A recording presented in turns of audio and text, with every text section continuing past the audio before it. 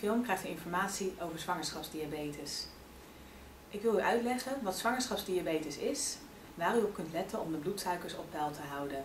Aan het einde van deze film uh, weet u hopelijk welke stappen u kunt ondernemen om de bloedsuikers op peil te houden.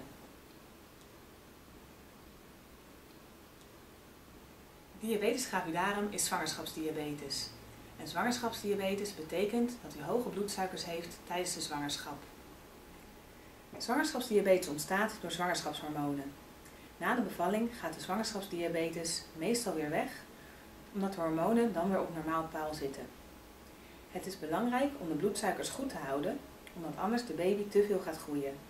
Daarnaast krijgt u meer kans op complicaties tijdens de bevalling.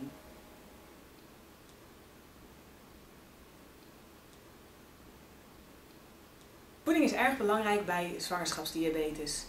Producten waar koolhydraten in zitten verhogen de bloedsuiker. Producten waar koolhydraten in zitten zijn bijvoorbeeld brood en crackers, muesli, eigenlijk alles wat van meel gemaakt is. Ook aardappelen, rijst, macaroni, pulvruchten verhogen de bloedsuiker. En onder pulvruchten vallen bijvoorbeeld bruine bonen, witte bonen, erwten en linzen. Fruit verhoogt ook de bloedsuiker, ook al kennen we dat als een heel gezond product. Zeker als er een fruitsap gemaakt is, verhoogt het nog sneller de bloedsuiker.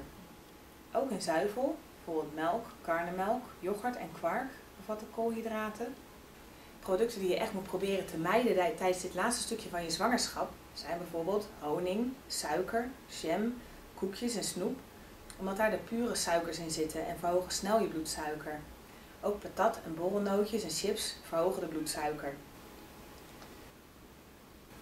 Producten waar u extra op moet gaan letten zijn vruchtensap, suiker en frisdrank. Maar die producten kunt u vervangen bijvoorbeeld door suikervrije dranken, zoetjes en light of zero dranken.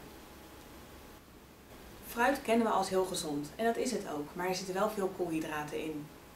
Als je fruit eet, neem je één portie fruit, bijvoorbeeld één appel of één sinaasappel.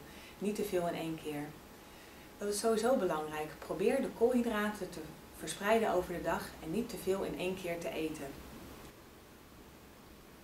Maar er zijn ook producten waar weinig koolhydraten in zitten. Bijvoorbeeld vis, vlees, kaas, maar ook groenten en walnoten. Zitten weinig koolhydraten in.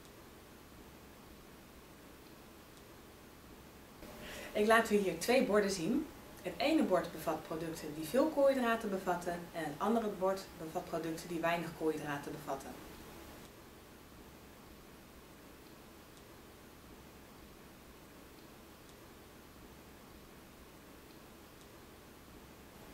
Er komt een afspraak bij de diëtist en diabetesverpleegkundige. De diëtist gaat met u uw voeding bespreken en kan vragen beantwoorden.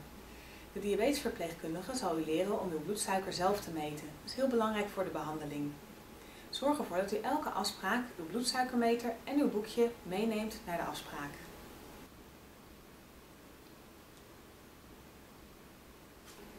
Er is veel informatie verteld tijdens deze film. De belangrijkste punten zijn oppassen met het drinken van sap en frisdrank en voeg geen suiker toe. Daarnaast opletten met het verdelen van de voeding over de dag.